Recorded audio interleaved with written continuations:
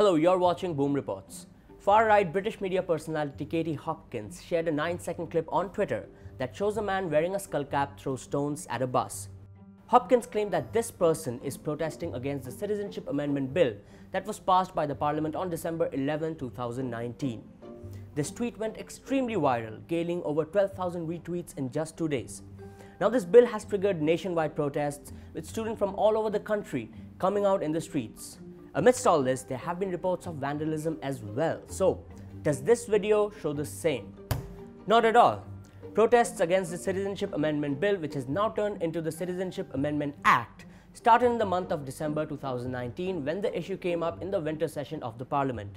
We traced this video all the way back to January 2017, long before this issue was even a part of public discourse. A BSRT bus in Surat had hit a pedestrian.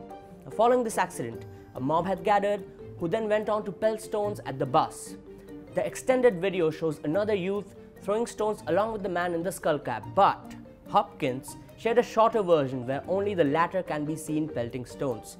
So she shared an unrelated old video and quite misleadingly passed it off as a recent event. Now, if you see more such videos which seem dubious to you around the protests going around on social media, do send it over to us on our WhatsApp helpline number. Thank you for watching. Have a good day.